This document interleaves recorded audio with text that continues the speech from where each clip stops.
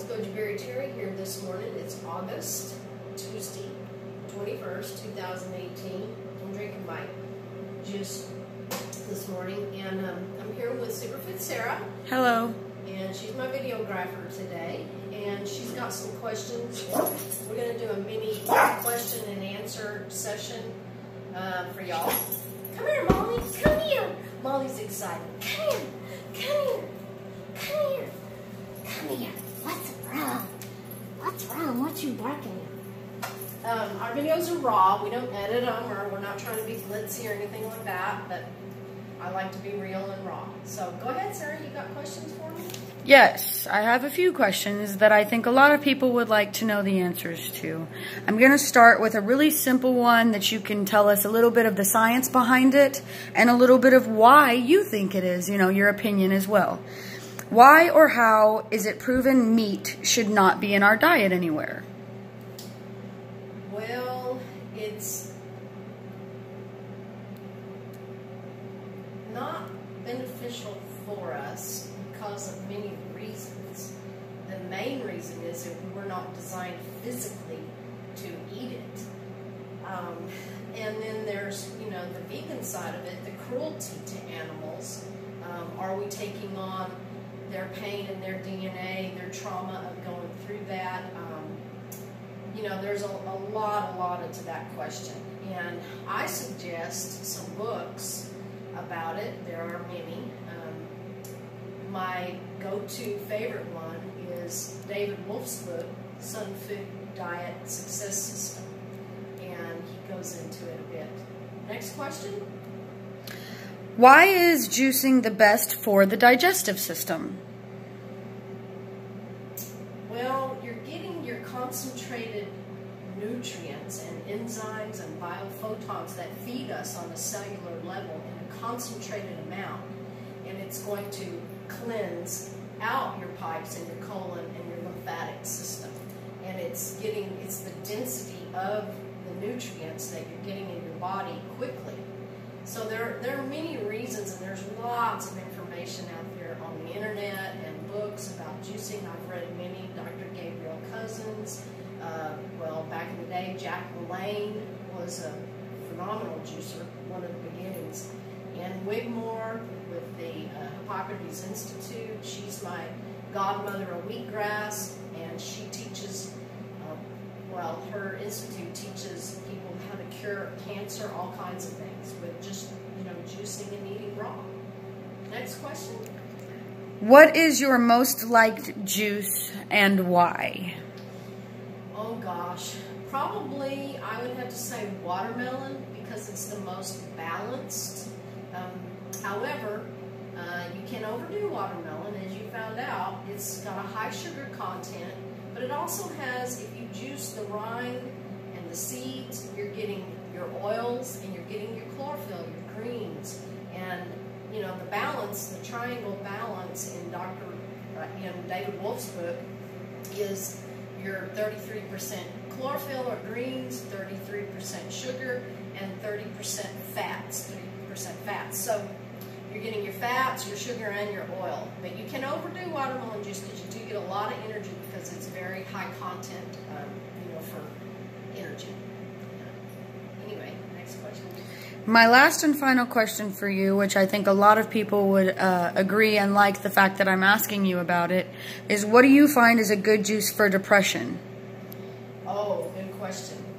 I have the answer to that right here because this is my go-to. It's kind of my second Bible, second uh, go-to book. I have quite a few others that I like as well, um, Ann Wigmore and uh, a lot. I'm a reader. I'm what a book is it? um, it's um, the Sunfood Success, uh, the Sunfood Diet Success System by David Wolfe. Okay, so for depression, he says to break about a depression, eat one or more trays of berries in the morning for breakfast daily for five to six weeks. Eat them on an empty stomach and avoid other foods until noon, lunchtime. Berries are incredibly balanced food and their moderate sugar content does not jar the nerves. Spells of depression are often associated with moments of low blood sugar and poor food choices. Eat mildly sweet fruits such as berries throughout the day to keep the blood sugar up. If one is too sensitive to sugar or fruit, one can eat combinations of seeds, pumpkin, hemp are great, and vegetables to maintain energy without stimulating the body with sugars. Avoid dried fruit binging. Complex carbohydrates and baked potatoes, french fries, breads, cakes, cookies, etc. And alcohol, as these can cause erratic blood sugar fluctuations. Consuming 3 to 600 milligrams of algae oil, which is DHA, could also be helpful in nourishing neurological tissue. Vitamin B12 is helpful for depression as well. I do the B12 patches from the Raw Food World. Um, I buy them directly online and I wear those. Or there's a little spray sometimes I'll buy if I'm in a pinch that I like for B12. Also, um, berries. Berries are incredible. Now, juicing berries gets expensive. So what I do is I have a friend that has a blueberry farm and certain times of the year I can go down there and pick bushels of blueberries. I have a video on, on my blueberry picking and I juice blueberries like crazy and oh my gosh, talk about elevating mood. It's, it's just wonderful. It's off the chain. And I notice my nerves, you know, um, I don't have, it's not too much sugar. Watermelon juice, you get a lot of sugar. But I like that, and I love watermelon juice especially. You get more bang for your buck because watermelon, I can get sometimes, shoot, five gallons out of the Texas watermelon of juice. So it's my morning time juice for biking and hiking. Okay, any other questions for me, Sarah? No, I think you answered all my questions pretty well. Do you have any suggestions on a good starter book for um, the people who are just wanting to kind of figure out how to start transitioning or things that are good to uh, know? Well, um, Wendy Rudall wrote uh, Raw Transition. That's one of my favorites and one of the first ones I read. Ann Wigmore, um, her, all of her books I read back in the day, back uh, when I was in school. So any of those to get started, uh, Dr. Norman Walker, Become Younger, um, Solids and Diets, he has some great books. Uh, there's, gosh, there's tons of information out there. And just take what, what resonates in you. And sometimes I read books two or three times because I'll miss things. So I go back and really read it and highlight and underline and make notes. That helps as well. And for all the curious cats that are wondering what these two machines are sitting here, what do you got cooking in these right here, Mom? Oh gosh, um, I'm dehydrating some uh, nori nachos. Seaweed's really loaded in vitamins. These will break up and make some really great chips and snacks. It's got a nacho chili cheese sauce that you made.